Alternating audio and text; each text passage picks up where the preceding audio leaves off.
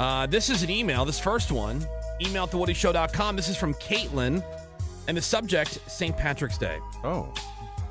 I know you guys are probably too stupid to know this. Most Americans are, but St. Patrick's Day is nothing more than cultural appropriation. And your show was full of it. Ah. I heard someone reference an Irish car bomb. As an Irish person, that's a pretty offensive term. It's like if I were to talk about an American drink and call it the 9 11 Twin Towers or the Osama bin Laden drink, people would freak out. Like I said, you guys are probably too American and dumb to know this, so it's fine. Uh, it's passive aggressive. So American. So it's fine. But I just wanted you to be aware that it was offensive to anyone listening who was Irish. We got to pass. Yeah. You've already lost me as a listener, but consider this a sign to change how you talk, or you will lose even more and more listeners. That is from Caitlin. Yeah. We lost her. Bye, Caitlin. Well, hate to break it to you, Caitlin, but I am Irish, and that's a nah dog. Bye. All right, so we've, we've, we've lost Caitlin. Yeah, that's right. McMurray. Yes. Hello, hi. You wouldn't know it looking at him or hearing him. No. No. Yeah. Oh, is that an Irish accent? Nah, Nah, dog.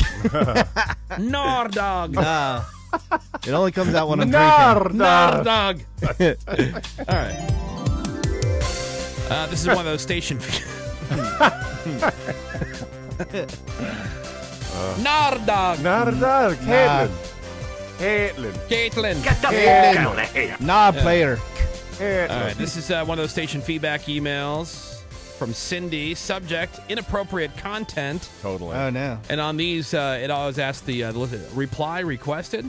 Yes. yeah, I want to Hell hear back yes. from you. I'm saying bye, but I want to keep the conversation going. I'm a regular listener of the radio station, and while I've heard many commercials for The Woody Show over the years, due to my schedule, I never spent much time listening to it. Hell no. However, I just got let go from my job a few weeks ago, and I've been taking over the job of driving my son to school.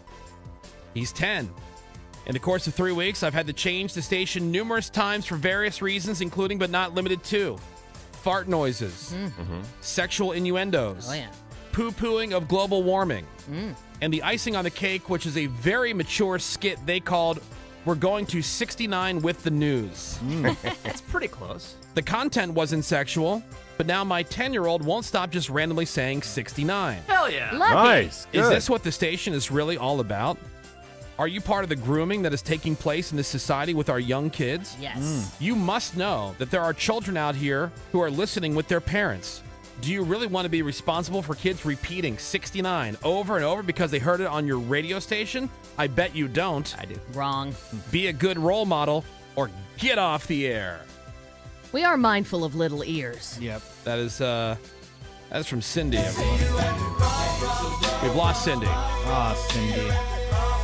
I mean, how many times you got to tune in before you? I know, uh, right? I'm gonna miss everybody. Bye. Bye, Cindy. At least he's saying 69. Yeah.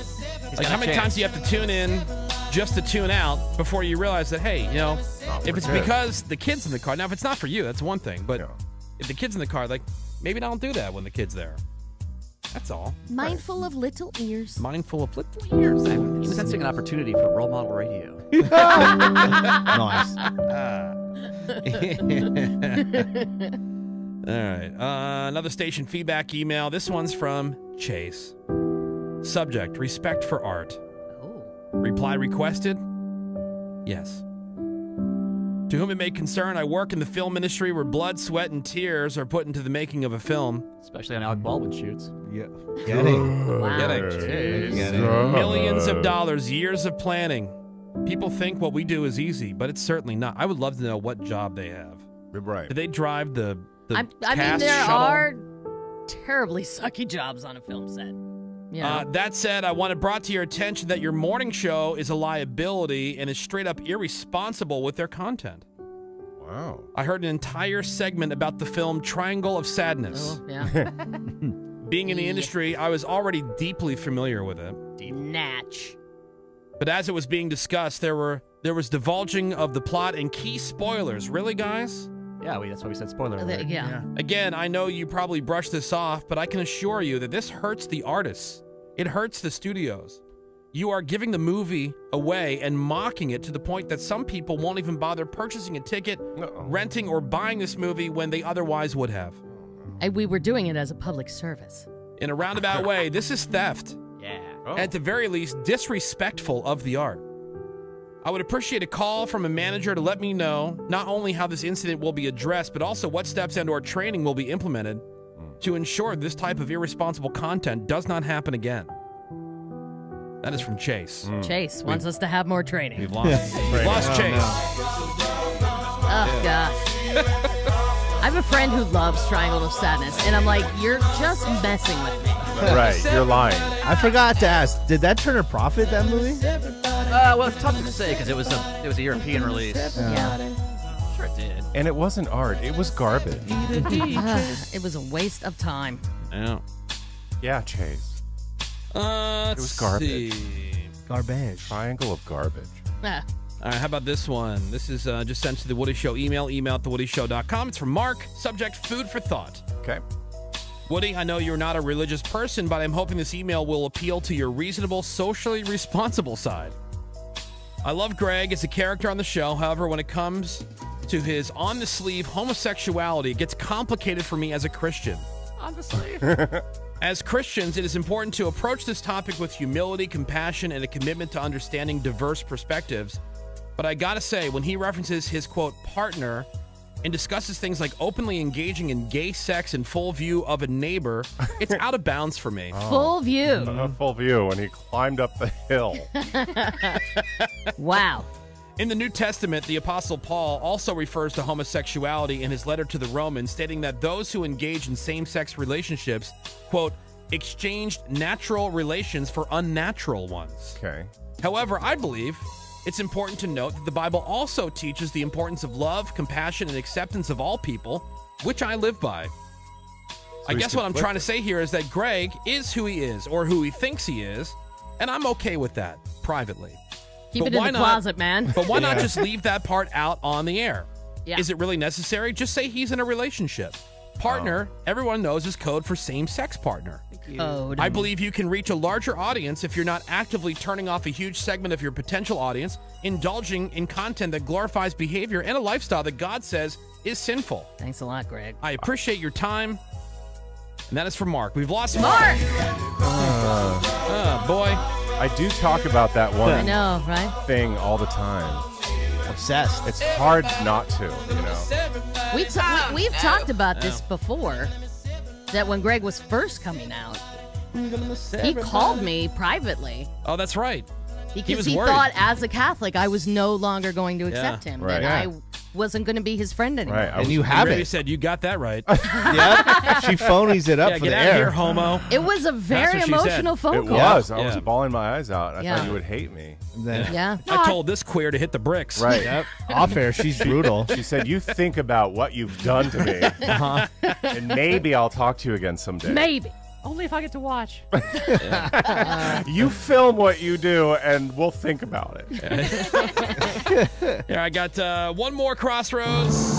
Oh. This is another one. This is uh, sent to our email, email at thewoodyshow.com. It's from Sean. No subject. Whoa. This email is only the first step. By the time I am done, asses will be kicked and you will no longer be on the air. Oh, no.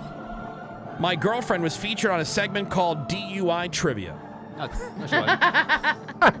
The DUI DUIT. trivia. The a hole interviewing her straight up took advantage of her and made her look and sound like an idiot on purpose. yeah, I did that. She's not dumb. In fact, she has a college degree. That's tough. That's tough to get these days.